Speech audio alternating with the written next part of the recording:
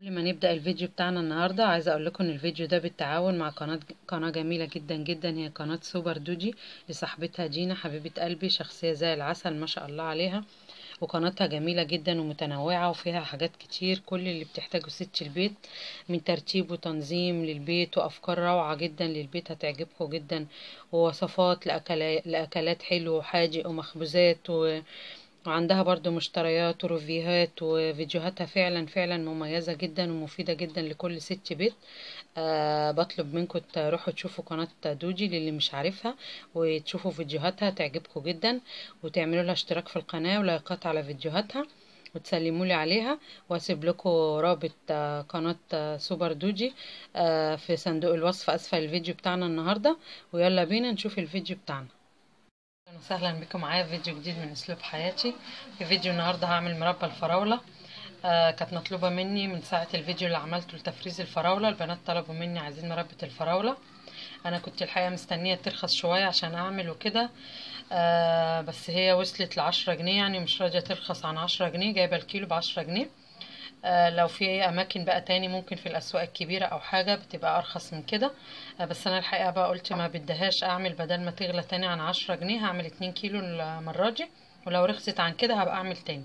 فأنا معايا النهارده دول اتنين كيلو فراولة غسلهم كويس جدا جدا. بحطهم في طبق أكبر منهم طبعا وأغمرهم بالمية خالص. ويتنقعوا شوية وبعدين أنشل الفراولة خالص من المية وأتخلص من المية وأحطهم تاني في الطبق وأغمرهم بالمية. وهكذا تلات أربع مرات لغاية ما ألاقي المية بقت شفافة و... وصافية خالص وما فيهاش أي أتربة ولا رمل من الفراولة.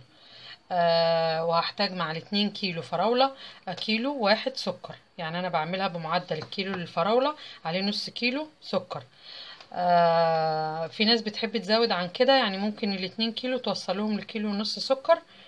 بس أنا بعملها يعني كده الاتنين كيلو فراولة معاهم كيلو واحد سكر بتبقى طعمها يعني كويس وحلوة وما فيهاش أي حاجة. ما بحبش يعني السكر كتير بس حسب رغبتكم زي ما بقول لكم آه وطبعا آه عايزين ننقي الفراولة لل... لما نكون هنفرزها أو هنعمل مربى أو أي حاجة. والكلام ده ينطبق على أي حاجة خضار أو فاكهة هنفرزه أو هنعمله كده مربى. طبعا هتقعد معانا ممكن كذا شهر بننقي الحاجة بجودة عالية كده وكويسة وسليمة. ما فيهاش أي حتة بايظة أي حتة حاجة. نجيب ال- ال- الثمرة نفسها بتاعت الفاكهة أو الخضار جامدة ومتماسكة ومن نوعية يعني جيدة بالشكل ده. فأنا كل اللي هعمله دلوقتي هقطع الفراولة معايا. أنا جايباها هي كبيرة شوية بقطع الجزء الأخضر ده وبقطعها كده على جزئين أو ثلاثة على حسب حجم الفراولة اللي أنتوا جايبينها. في ساعات بتبقى فراولة صغيرة خالص دي بسيبها سليمة. دي مثلا متوسطة على جزئين ولو صغيرة خالص هسيبها سليمة.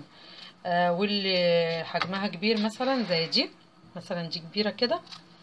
بقطعها على أربع أجزاء مثلا. اتنين كده بالطول وبعد كده بالعرض. بتدينا أربع أجزاء كأن كل جزء كده يعني فراولايه صغيرة. وبقطع كل الكمية دي اللي معايا. واحتاج طبعا ربع كوباية آه، ليمون معصور. عصير ليمون يعني بس أنا لسه عصره لما أجي أعملها عشان ما يفضلش وقت طويل كده معصور. خلاص كده حبايب قلبي قطعت الفراولة زي ما قلت بالشكل ده. كل الكمية اللي معايا الاتنين كيلو. هجيب طبق بقى تاني علشان عايزة أحط عليها السكر. عبارة عن طبقات كده. يعني في الطبق كده مثلا أحط جزء من الفراولة. سوري عمالة تقع. رخامه نضيفه ما فيهاش حاجة. كده طبق. طبقه كده من الفراولة معايا. وكمان طبقة من السكر بالشكل ده. هوزع الفراولة كلها هي والسكر عبارة عن طبقات وهخليهم لمدة ساعتين. منقوع الفراولة بالسكر بتاعي. الحركة دي بتخلي الفراولة تنزل ميتها. يعني تنزل ميتها كده أجي أسويها على النار تبقى فيها سوائل حواليها من غير إحنا ما نضيف أي سوائل خارجية. بيبقى النتيجة أحسن يعني. وفي كمان ناس بتبيتها يعني ممكن لو ما يعني مثلا لو عايزين تستنوا شوية تعملوا الحركة دي وتغطوها و... وعلى التلاجة تبات لتاني يوم. بس أنا بكتفي يعني بساعتين. هما بيبقوا كفاية بي... بتبقى المدة دي كفاية إنها تخرج لي المية بتاعت الفراولة كلها اللي موجودة فيها قبل التسوية. خلاص كده خلصت كل كمية الفراولة بتاعتي والسكر. طبقات طبقة فراولة وطبقة سكر بالشكل ده. ممكن بعد ساعة أو نص ساعة أجيب المعلقة بتاعتي وأقلبها من فوق لتحت برضو عشان أتأكد إن كل السكر يدوب في خلال الساعتين إن شاء الله. خلاص بعد مرور ساعتين آه السكر آه، ساح خالص كده وبقى سائل وخلى الفراولة نزلت ميتها. هجيب بقى الحلة اللي هسوي فيها الفراولة على النار وأصب فيها الفراولة بتاعتي بالشكل ده كلها. وبواقي السكر اللي في الآخر دي انزلها طبعا كلها برضو معاها. خلاص كده. ومعايا دي حوالي ربع كوباية ربع كوباية كده عصير ليمون لسه عصيرها طازة أهو يعني حوالي أربع ليمونات كده متوسطين معصورين. وكده حطيت الفراولة بتاعتي على النار في حلة زي ما إحنا ملاحظين تكون واسعة شوية مش على قد الفراولة بالظبط عشان هي لما بتغلي بتفور كده على فوق وعايزة مساحة تكون متوفرة كده في الحلة. ما تبقاش الحلة صغيرة علشان ما تفورش على البوتاجاز بتاعنا وتبهدل لنا الدنيا. وأنا معلية عليها النار لغاية كده ما تغلي. خلاص الفراولة بتاعتنا بتغلي اهي على النار كويس جدا. هبدأ أضيف لها في المرحلة دي ربع كوباية عصير الليمون اللي قلنا عليه. هضيفهم كده كلهم. واقلب طبعا الليمون ده مادة حافظة ومادة هي كمان اللي هتساعد الفراولة إنها تتماسك وتاخد القوام المطلوب. طبعا السكر برضو في حد ذاته يعني مادة حافظة اللي إحنا ضايفينه على الفراولة.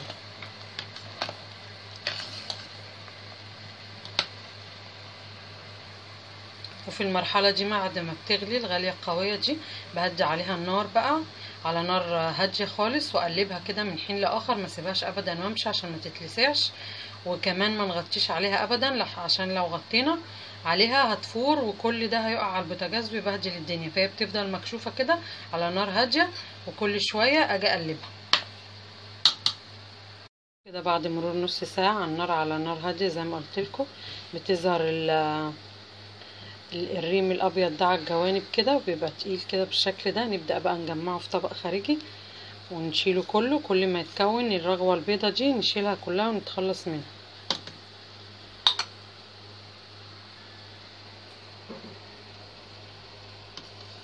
بالشكل ده كل ما تظهر الرغوة دي نشيلها عشان دي لو لو عبينا بيها الفراولة في النهاية بتعمل بتسبب في تلف الفراولة و...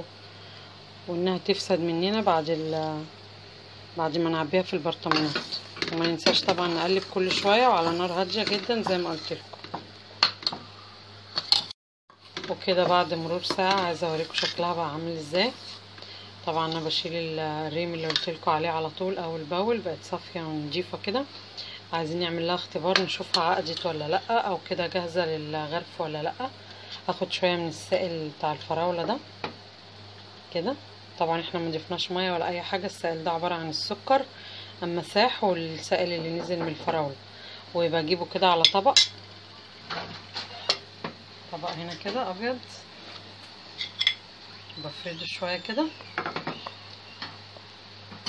واجي من النص كده وأعمل حز كده.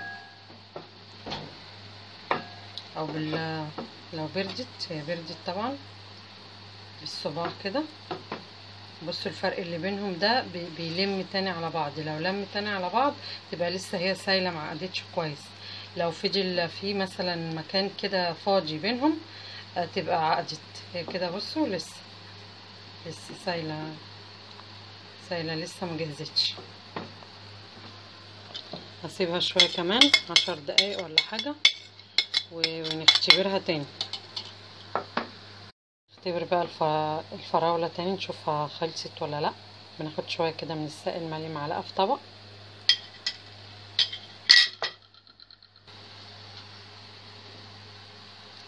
نوزعها كده عشان تبرد.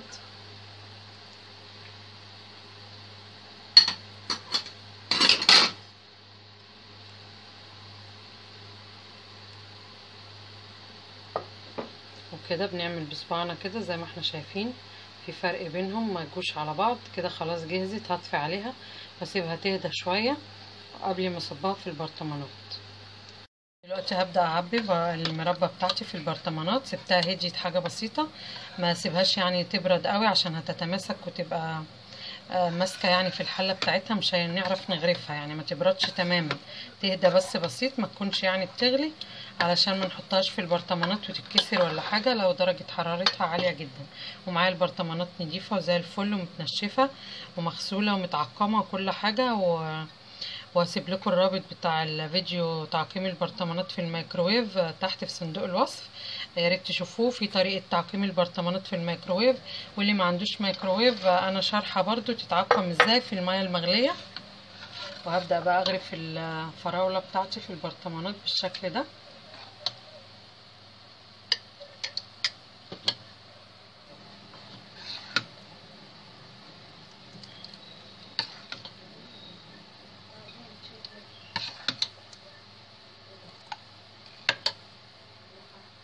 زي ما إحنا شايفين كده قطع الفراولة طبعا اللي قطعناها آه، باينة تبقى باينة معانا في في المربى بتبقى جميلة جدا. شوية سائل وشوية قطع الفاكهة كده باينة وواضحة بتبقى طعمها طبعا جميل وأحلى من الجاهزة بمية مرة.